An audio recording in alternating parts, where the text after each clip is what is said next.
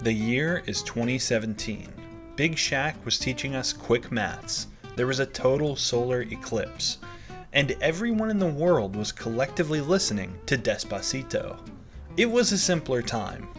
Cryptocurrency was pretty well established, and ever since Mt. Gox was shut down in 2014, people had been trading Bitcoin on websites slightly more legitimate than a literal stock market for Magic the Gathering cards. As demand increased for cryptocurrency, during 2017, the value of a single Bitcoin skyrocketed from under $1,000 to almost $20,000 during that year alone. But what if 20,000% profit just simply isn't enough for me and I want to make more on crypto than all those simpletons investing in Bitcoin? Enter BitConnect. Today, BitConnect is long gone, but it's left me wondering what really happened with BitConnect? And what happened to its icon and possibly the best living meme in the world, Carlos Matos. Hey, hey, hey. Hey, hey, hey. Hey, hey, hey. What's up, what's up, what's up, what's up, what's up, what's up, what's up, what's up, Big? The world is not anymore the way it used to be. Mm-mm, no, no, no. My wife still doesn't believe in me. I'm telling him, Bohani, listen, this is real. No, no, no, no, no, no. That's a scam. What am I gonna do? Faith and belief is the one thing that we all need to be able to change the world. I love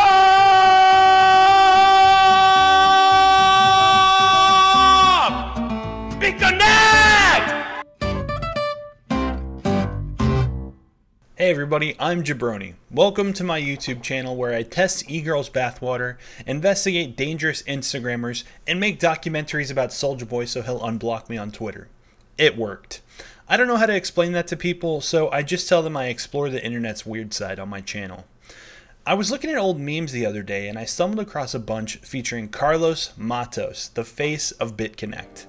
And it got me wondering, what really happened with BitConnect? And whatever ended up happening with Carlos. So I started digging. The first thing I looked into was how did BitConnect actually work? I understood back in 2017 that it was some kind of scam, but that was about it. Here's what I found out. BitConnect told investors the way that it worked was they had a trading bot that traded Bitcoin and made small profits throughout the day, buying low and selling high. They called this bot a volatility software. But a trading bot like this needs lots of money to work with.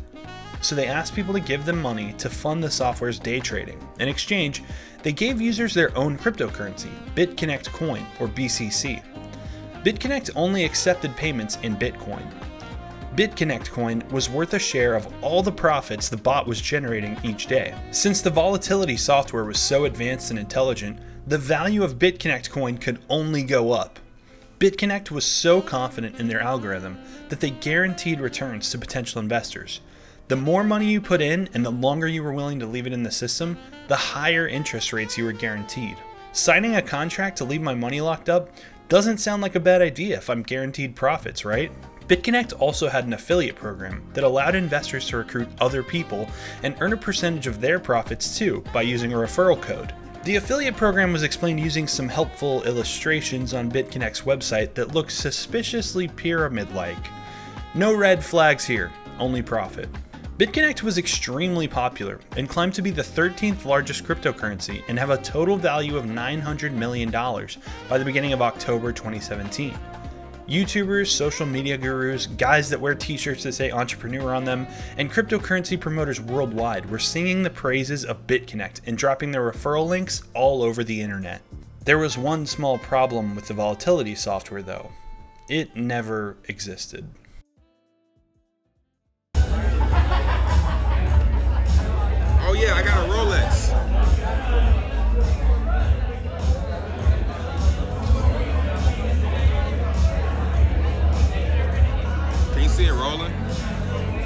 Hard to see it rolling on camera.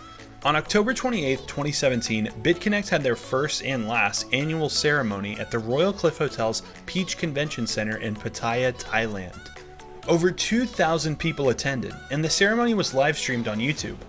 BitConnect has since deleted the video, but it was archived, and it was at this ceremony that the world met Carlos. The hosts introduced him only as Carlos from New York, and his charismatic and hilarious performance was by far the most memorable part of this entire ceremony that lasted over four hours. He mentions that his wife doesn't believe him when he talks about BitConnect, and she thinks it's a scam. But Carlos was so incredibly confident that all we need is faith to believe and change the world I almost wanted to start to believe him. The aim of the ceremony seems to have been to generate even more hype for BitConnect and raise more money from investors. The extreme opulence of the ceremony added to the legitimacy of BitConnect. If BitConnect was a scam, how did they afford to give away cash prizes of tens of thousands of dollars to these promoters who attended? If they weren't generating real profits from their volatility software, how did they give away Lamborghinis and Ferraris to these people?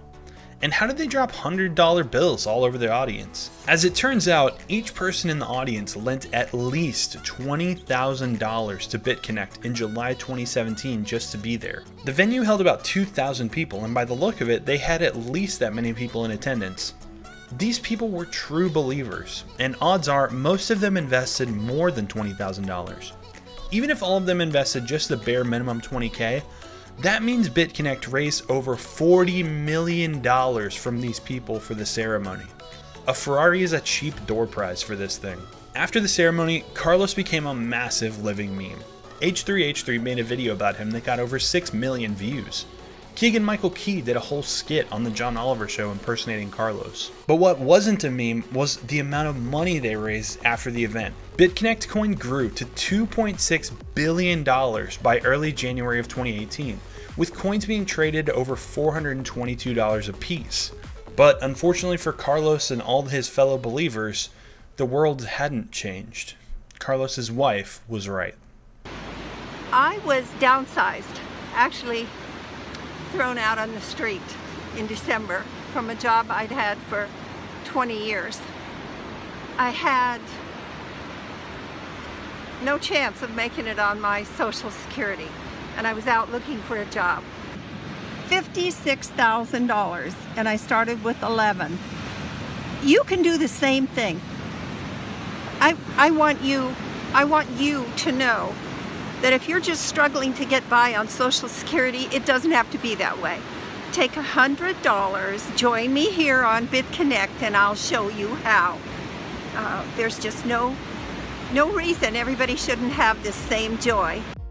On November 7, 2017, the UK government issued BitConnect an ultimatum to prove its legitimacy within two months or be forced to shut down. Then two states in the US, Texas and North Carolina, issued letters warning investors that BitConnect was a Ponzi scheme and ordering BitConnect to cease and desist all operations. BitConnect officially shut down January 16, 2018, after the government pressure reached a fever pitch. By January 18th, the price had fallen to $25 a coin. The FBI started an investigation almost immediately and posted this page in February looking for victims. And there were a lot of victims. An estimated 1.5 million people invested billions of dollars into BitConnect, with many people losing their entire life savings. Since BitConnect only accepted payments in Bitcoin, none of the transactions are traceable, and the people at the top of the pyramid most likely got away with billions of dollars of Bitcoin. That isn't to say no one got in trouble. A lot of the head promoters were prosecuted, especially the ones who showed their faces at the ceremony in Thailand. YouTuber Trevon James, who pushed BitConnect hard to his audience, said he was being investigated by the SEC and the FBI. John Bigatton, the Australian head of promotion, is still in court to this day over his involvement with BitConnect, and he's been banned from working in finance for seven years. Once his case is over, he may end up in prison. The head of BitConnect in India, Darji Divyesh, was arrested in 2018 for his involvement when he was traveling from Dubai back to India. Apparently, he didn't learn his lesson because he went right back to promoting questionable crypto schemes in 2019. There are a lot more people who promoted BitConnect who've been named in various government investigations and civil lawsuits around the world. Too many for me to talk about in one video. But that made me wonder who was at the very top of this thing? The people who showed their faces on stage in Thailand certainly bear a lot of responsibility for parting people with their money, but I wish I could know who they were working for, who told them about BitConnect and convinced them to promote it, give their money to it, and get others to do the same? I would imagine that several governments around the world have been trying to figure this out as well. BitConnect was registered as a company in the UK on July 14, 2016 by someone named Ken Fitzsimmons. There is no other trace of this guy online. YouTubers at the time even went so far as to call the registered office from this filing, only to find that no one actually worked in the office there. There was another company set up also in the UK that listed several of the top promoters as directors, but has since been dissolved. Another one of the top promoters was Glenn Arcaro, who mentioned in a couple of videos that the company was actually working out of offices in Dubai, which would line up with Divyesh's arrest. It seems to me that a core group of people at the top of BitConnect set up phony shell companies in the UK and then went to Dubai and began running one of the most aggressive and successful scams in history. But what about Carlos? Well, fortunately for him, he was never invited to any secret meetings in Dubai. Hey, this is John. I made a video earlier. It may have a little foul language in it, and I apologize. Uh, I try not to talk that way, but you know, by God, I'm hurt. And I know there's a million others hurt out there. You know, I got into BitConnect, and uh, just like you, you, most of you did, with hopes and dreams. I have a son with autism. I was hoping and dreaming, you know, and thought, oh, right, you know, this is something I can do besides this daily grind that doesn't get me anywhere. Uh, and actually have some money for him and, and money for stem cell therapy and just money when I die, you know, that he'll be able to, that someone will be able to take out of the wallet and, uh, and help him along. In May of 2019, Carlos posted a video on his personal YouTube channel called The Truth About BitConnect, Other Scams, and Carlos Matos. In it, he says that he was scammed, and all in all, he's lost over $100,000 to various online scams, including BitConnect. Carlos says he still lives in New York, and he's a therapist that works with children on the autism spectrum. He says his goal is to become a board certified behavioral analyst. He said his wife sees him as a failure and that he's failed in his relationship with her. He said he wants to be successful online and offline, and it's kind of a turn over a new leaf type video. Carlos talks a lot about making progress in life no matter what, saying that even if he fails, he can still look at it as a learning opportunity. To this day, he's still active on social media. Recently, he showed a video where he went to pick up his new Tesla, and streaming on YouTube seems to be his favorite way to connect with viewers. Some of these streams veer into weird territory with Carlos monologuing in a pitch black room talking about whatever comes to his mind. Overall, though, he seems to have a very positive outlook on the future, despite his setbacks, and he encourages his viewers to do the same. All in all, I think Carlos was just a good guy who got pulled into something that turned out to be too good to be true. There's no evidence to suggest that he was one of the masterminds behind BitConnect or that he made a lot of money off of it. On the contrary, I think he really did lose a lot of money. I wish Carlos nothing but the best in the future, and I'm excited to see what he does in the future on YouTube and elsewhere. And so now you know what happened to Carlos Matos and BitConnect. Thanks for watching. See you next time. Stay weird, Internet.